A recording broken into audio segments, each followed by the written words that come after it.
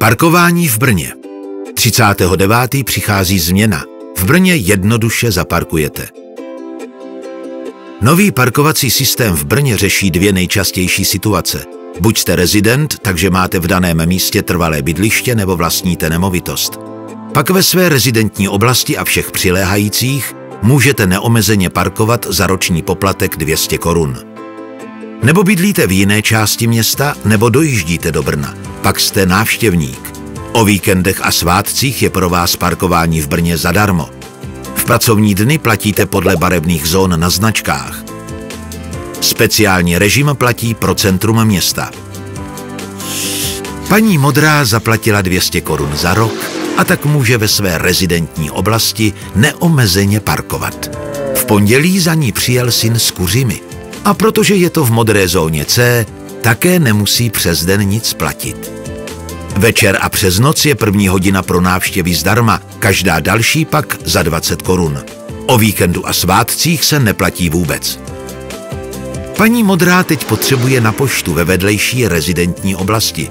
Proto tam může také neomezeně parkovat. Říká se tomu princip květinka. Vaše rezidentní oblast je střed, okvětní lístky jsou přilehlé oblasti. Tam parkování také neřešíte. Ani když je to v jinak barevné zóně, kromě červené, nebo dokonce v jiné městské části. Pokud jste rezident, řešíte poblíž domova jednoduše jenom oblasti a ne zóny. Paní Modrá potřebuje ještě do kadeřnictví, to je už o několik rezidentních oblastí dál, takže se mění z rezidenta na návštěvníka. V zelené zóně B nemusí za první hodinu platit, jenom se musí zaregistrovat třeba přes mobilní aplikaci nebo v parkovacím automatu. Stejně to pro návštěvníky funguje v pracovní dny večer a v noci i v modré zóně C. U kadeřníka se věci můžou pěkně protáhnout. Naštěstí tu je mobilní aplikace, ve které si paní Modrá snadno dokoupí další hodinu. A teď je čas ještě skočit na zákusek s kamarádkou paní Červenou.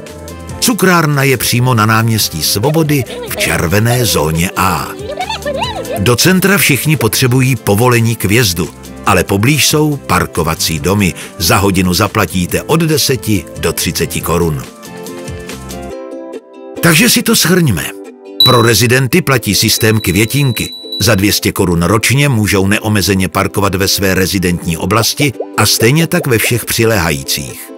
Pro návštěvníky jsou tři parkovací zóny. Zóna A v centru je červená, k vjezdu potřebujete vždy povolení. Ale máte k dispozici parkovací domy. V ostatních zónách platíte jen v pracovní dny. Zelená zóna B je placená po celý den s výjimkou první hodiny parkování. V modré zóně C se kromě první hodiny platí jen večer a v noci. Platit můžete v parkovacím automatu, SMS-kou nebo přes mobilní aplikaci. Jednoduše zaparkujete od 30. září.